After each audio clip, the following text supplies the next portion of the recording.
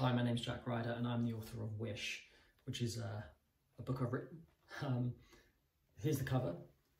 It's a story about Pixie and her friend Wild who go on this adventure together. And there's Wild on the train fishing for fish. Um, and he's built a little, a little campfire there on top of the train. And that's the back. And you can find magic in the most unlikely places. Um, I'd love to read you a, a chapter, the first chapter of the book. So here we go. Lost in the storm. Beyond a large green valley, just before you reach the sea, there was a small house in Cornwall. It was a beautiful little cottage with a blue front door and a thatched roof, which had a tiny chimney pot smoking at the top. It was made from sandstone bricks and had four windows at the front, looking out onto a beautiful wild garden. The garden was full of flowers in bloom, as colourful as a rainbow, Next to an old front gate there stood an enormous palm tree as tall as a lamppost. A wilderness of tall, dry grass surrounded the cottage on all sides, and beyond the gate a winding path led to a sandy cove. The days were always bright and sunny, and at night when the moon appeared, everything was bathed in a pale silver light. The ocean glistened silently beneath the starry sky, and the owls hooted in the trees all around. Inside the little cottage, there lived a girl called Pixie. She had blonde hair, which was always tied up in a scruffy ponytail, and she wore big round glasses that had thick red rims. Her deep brown eyes were the colour of autumn, and her button nose was splashed with freckles. Pixie was an only child.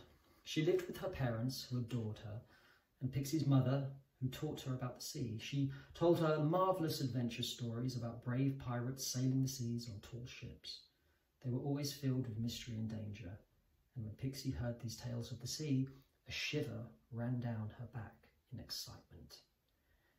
Pixie, Pixie usually spent her mornings with her father, having breakfast together. Then they would walk down to the sea and practice skimming stones across the water. Later in the day, the family would pack a picnic and head off together in their boat. It was a very small wooden boat and was just big enough to carry the three of them. Very slowly, her father would row them towards an old lighthouse, which stood on a bit of land jutting out into the sea. Pixie had never been inside the lighthouse before, but she always wondered what it would look like. Perhaps it is empty and filled with seagull poop, she often thought, but there was something about the old lighthouse that intrigued her. It must have been over 60 metres tall, and there was an enormous brass cage on the top. Pixie's father told her that the light inside the cage hadn't worked in years. Pixie and her parents would enjoy their picnic, gently bobbing up and down on the sea. Their cottage, just a tiny spot in the distance. These outings were the times when Pixie was happiest.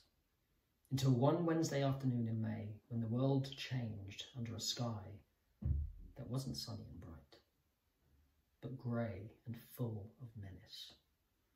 Pixie played on the shore of the cove, while her parents went out in the boat to catch crabs for supper.